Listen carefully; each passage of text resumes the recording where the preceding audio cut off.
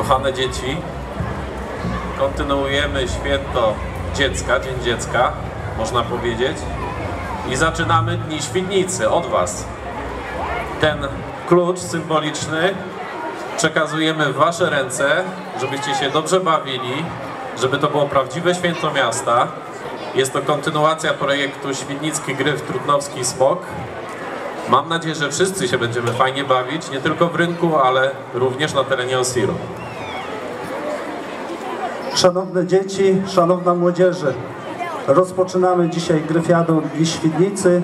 Jutro święto dzika, na które już dziś serdecznie zapraszam, a w niedzielę na Osirze będzie zakończenie Dni Świdnicy. Chciałbym, żebyście się w te dni szczególnie włączyli w życie miasta i żebyście się po prostu dobrze bawili. Dziękuję bardzo.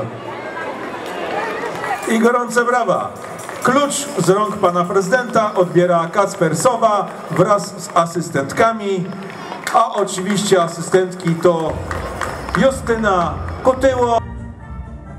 To już czwarta edycja Gryfiady organizowana przez Młodzieżowy Dom Kultury w Świdnicy. Jaki jest motyw przewodniej imprezy? motyw. Dziś wskazanie, ale nie jest to e, absolutnie obligo, ale wskazanie było na kamienicę numer 8 i legenda o rajcy świdnickim. Myślę, że bardzo dydaktyczna, pouczająca, wychowawcza historia e, ze świdnickiej historii. E, Co znalazło się w programie? W programie już jesteśmy po pochodzie barwnym, kolorowym, rozkrzyczanym, wesołym. Za chwilę prezentacja przedszkolaków na scenie.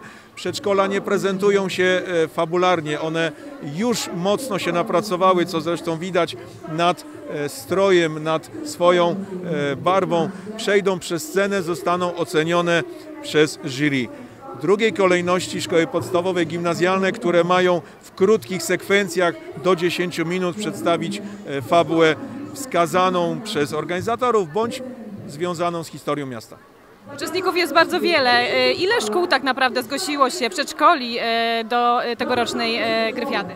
Wszystkie, dokładnie wszystkie, ale mało tego. Po raz pierwszy zafunkcjonował miejski żłobek. E, Po raz pierwszy funkcjonują niepubliczne szkoły. Fundacja Bliżej Dziecka, e, katolicka szkoła, e, są przedszkola niepubliczne. Bardzo nas to cieszy, to się świetnie rozrasta. Cieszy nas także, że szkoły przybyły bardzo licznie. z oddalonej od centrum szkoły podstawowej nr 1 przyszły wszystkie klasy 1-3. Ile jest dzieci? To chyba dyrektor Wydziału Oświaty będzie wiedział. E, Na każdego uczestnika czeka nagroda? E, Myślę, że nagrodą jest udział i dla każdego czekają słodkie niespodzianki, okolicznościowy dyplom. E, Wszystkie szkoły, wszystkie przedszkola otrzymają puchary, bo wszystkie tak naprawdę są zwycięzcami.